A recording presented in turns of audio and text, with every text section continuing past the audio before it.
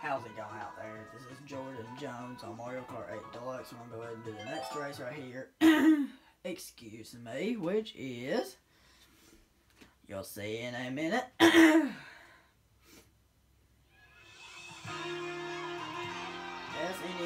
Donut Plains 3. Oh, this track. I'm looking forward to this track. It actually feels real comfortable with the broken Controller.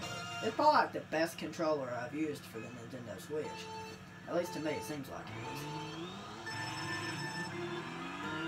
I didn't need the extra boost this time, I got lucky. But that don't matter. No. Think I forgot about it. That don't matter.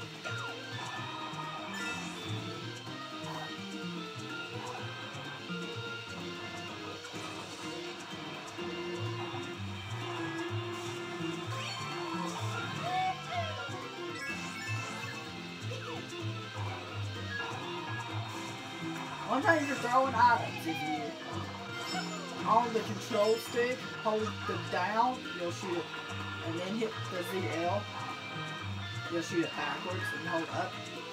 You, you hold down and throw backwards. You hold up, you'll throw forwards. Stuff like that. Keep that in mind.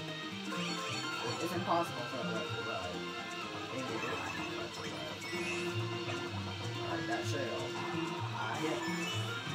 You didn't see me hit it on the video since I'm viewing it on the TV. That's the only thing you see on the video. Of course you hear me talking. Of course.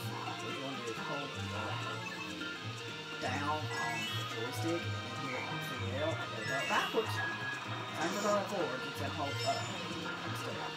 You just press it. I'm not really stretching it. Go on a random direction. I recommend doing rather. If you're in first place, definitely it down. If you're in last place, definitely it up. Middle, between the two, doesn't matter. Up or down.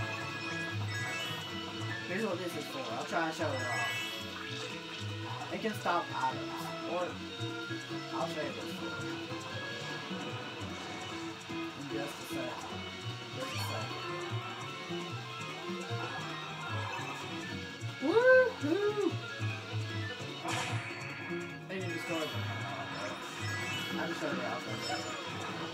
I destroy other coming towards you. So can it. Yeah, the water. This was super quick this time. I'm not believe how quick that was. That was like about under three minutes. Almost three minutes, but still.